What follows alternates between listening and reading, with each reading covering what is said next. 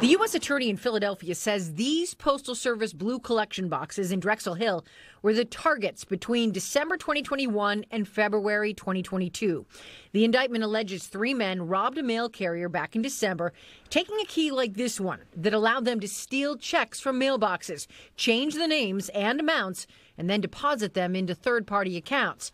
Authorities put the total of stolen checks and money orders at more than $171,000. Arrests and charges have not been common in this type of crime, which has been plaguing the Philly area for more than one year. We are working hard as an agency with Department of Justice to continue to identify and bring cases against people who uh, who are stealing checks in and around the city of Philadelphia.